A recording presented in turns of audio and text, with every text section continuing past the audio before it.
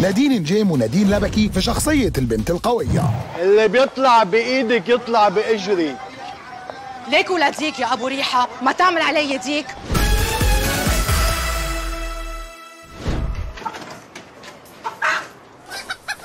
يا ابن الشرشوحه مش غريب على نادين نسيب نجيم في كل عمل بتقدمه إنها تتصدر الترند على مواقع التواصل الاجتماعي. وفي خلال أيام قدرت نادين إنها تكون حديث الصحافة والجمهور العربي من خلال شخصية زهرة اللي بتقدمها في مسلسل صالون زهرة اللي بيحقق نسبة مشاهدة عالية على منصة شاهد. إيه سمع ليه؟ سمع وبمجرد إطلاق شركة الصباح الحملة التسويقية والدعائية للعمل اتفاعل الجمهور بشكل كبير وعبر عن حماسه وانتظاره للعمل ده اللي بيشاركها بطولته عدد كبير من النجوم ومنهم معتصم النهار توني عيسى مجدي مشموشي فادي سمرة زينة مكي كارول عبود وغيرهم. شفت؟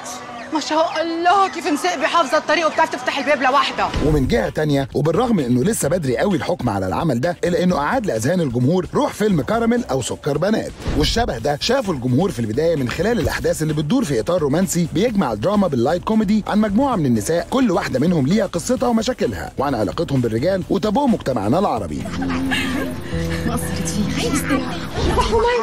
هذا زلمة واللي عندي بالبيت زلمة؟ شو بكون؟ مثل قرن البوزة دبته. ففكرة وأحداث المسلسل اللي بتدور في حي شعبي جوه صالون تجميل خلت البعض يتكلم عن التشابه بين شخصية زهرة وليال. أنا لازم أمشي.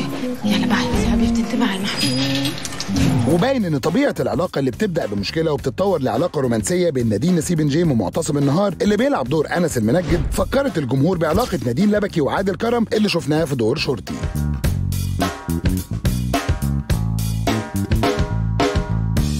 وكمل التشابه ده بمود الصالون اللي نقدر نقول إنه مكان بيفشوا فيه نسوان الحي خلقهم فالكل بيشارك مشاكله وأفراحه. والملفت كان الكومن مومنتس وهي لحظات الرقص اللي موجودة في العملين.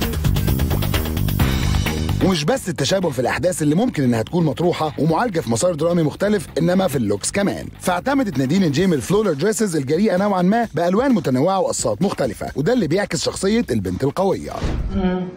كعبس كلبين أعلى من اخلاقه وبشخصية البنت القوية كمان اعتمدت نادين لبكي أكتر من إطلالة في كارمل نفس الستايل مع الأكسسوارز. وبعيدا عن الشخصيات الديكور كان ليه حصة كبيرة من المقارنة وخصوصا الألوان والفرنتشر مدام وردة. مين وردة؟ شو فكر حالك جاي على مشتى الاسم زهرة؟